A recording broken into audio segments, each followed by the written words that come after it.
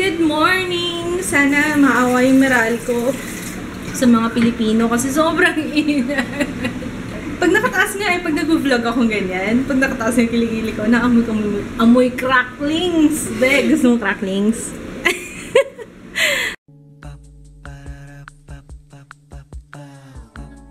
This is my family. Amoy mo yung kilikili ko. Ay, ayaw mo na. Kanina kasi pinaamoy ko.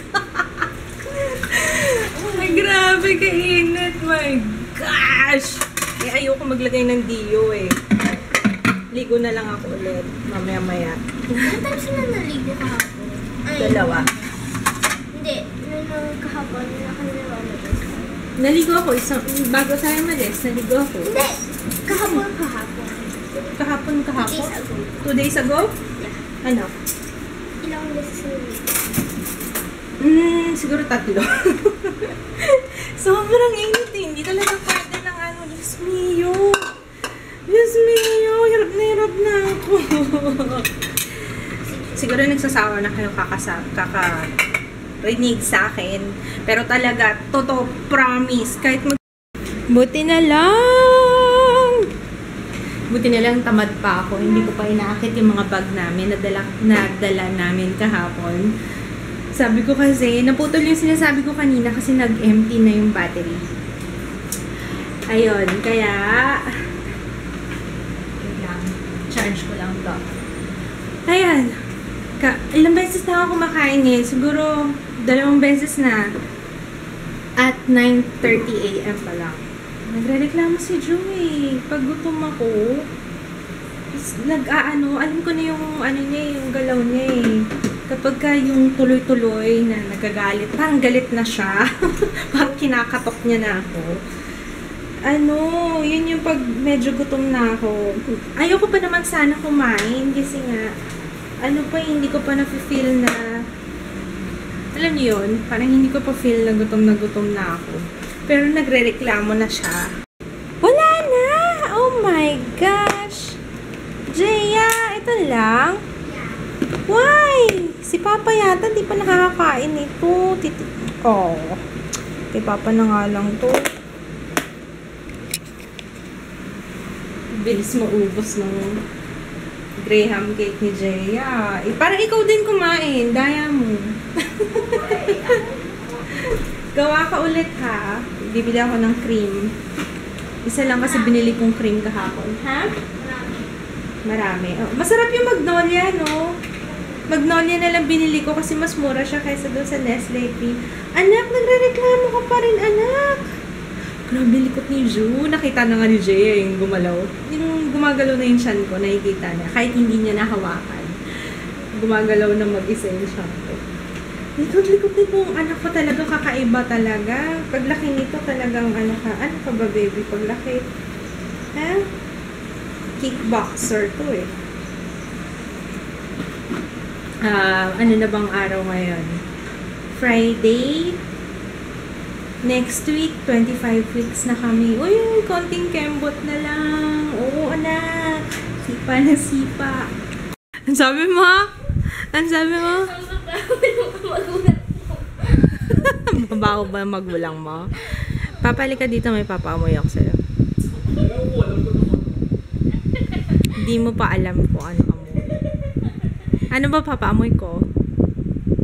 Ano ipapaamoy ko? Hindi mo pa nga alam eh. Come here. Come here. Come here. Sige na po, isulong naman. Hindi na ako tatabi sa'yo. Hindi mo inamoy ito. Ako yung torture. Torture. Sige na Pigit mo ko Pigit mo yung mata mo yan. Tama, very good. Pigit mo na lang yung mata mo.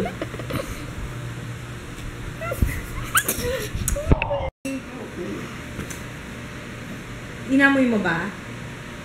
Bibilangan ko 5 seconds. hindi, hindi mo inamoy eh. Gumanong ka lang. Sige na. Tama.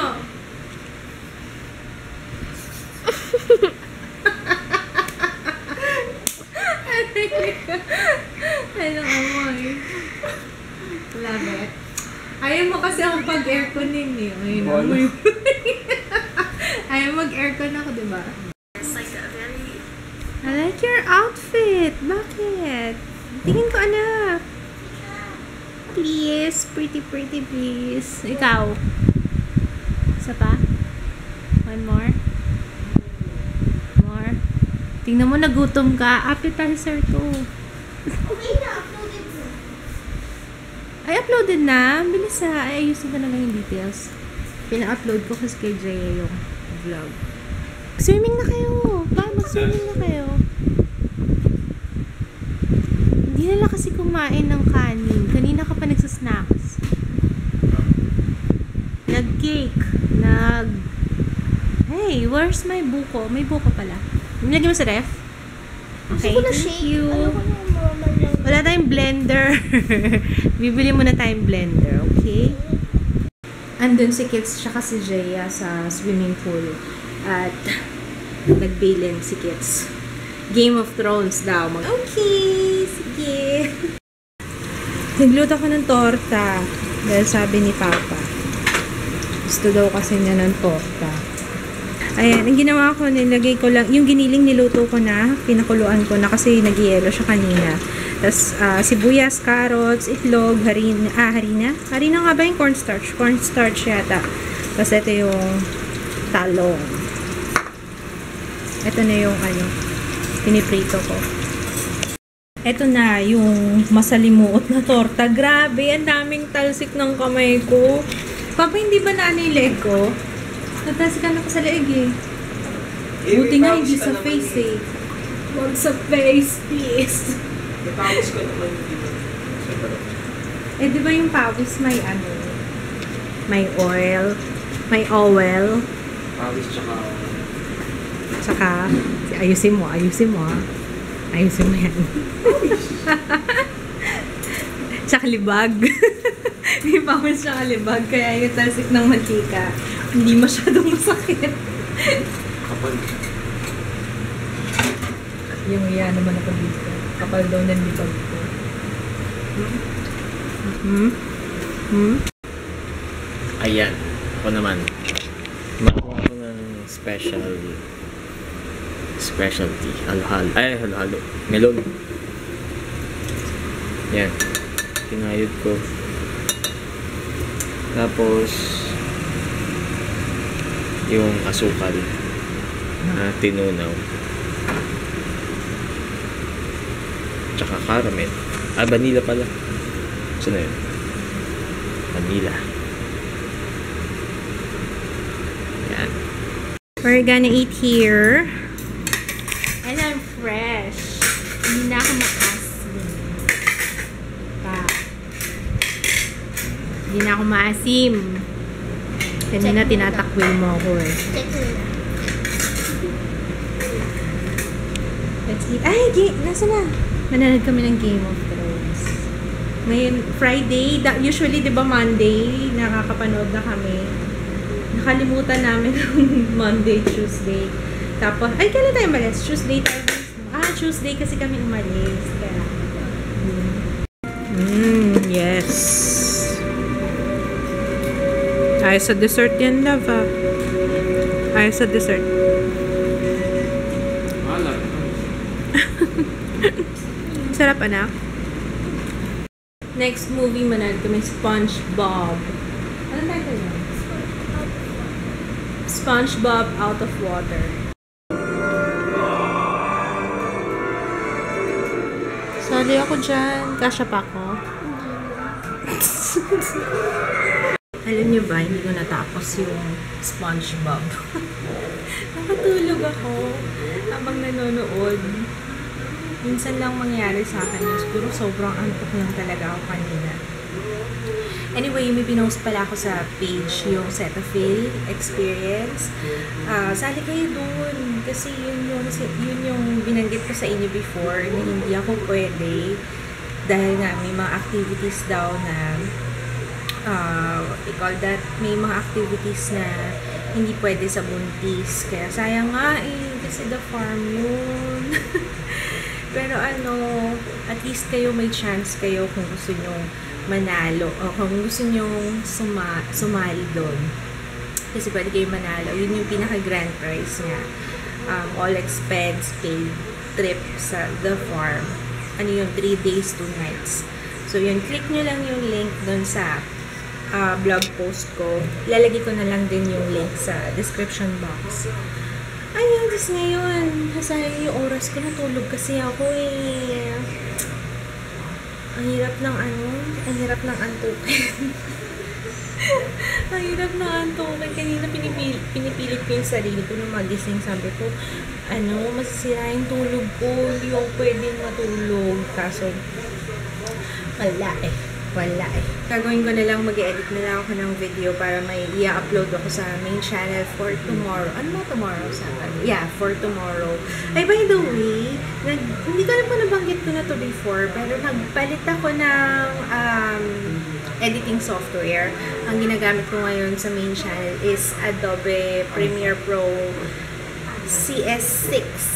So, ano siya, mas um, mas advanced. Oo, mas ano, mas updated siya kesa dun sa 5.5. Syempre, 5.5 na ginagamit ko before. Ah, i-share ko lang sa inyo kasi ito, mas mabilis. Um, hindi ko na kailangan mag-render. Unlike dun sa, ano, sa 5.5 dati. Ito, kahit hindi ko na-render yung video, pwede ko na siyang i-edit agad. Kaya, yun, maano, ma, ma, mas mabilis na mag-edit. Mabagal lang ako kumilos, pero mas mabilis mag-edit here. Tapos, ah ano, um, ano pa ba yung sasabihin ko? Pati yung pag export niya, mas mabilis. Ah, inaabot lang ako ng wala pang mga wala pang isang oras for ah, yung video na less than 10 minutes, wala pang isang oras. Dati, naabot ako ng 2. Wait, yan? Nasa mid sa sarili laway. Dati, naabot ako ng dalawang oras. Ngayon, ano na, Kerry Bells, mabilis na. Nakakainis so, out of focus yan. Hindi kasi masyado makita dito sa camera, pero naka-out of focus. Alam nyo, yun ang iniisip ko. Kasi nahihirapan ako. Pag nag-film ako, tinitingnan ko lang sa kabila, sa salamin, yung, um, ano ba tawag doon? LCD? LCD display? Ano ba tawag doon? Wala kasing viewfinder yung aking camera. Kaya tinitingnan ko lang yung reflection sa salamin ng LCD display.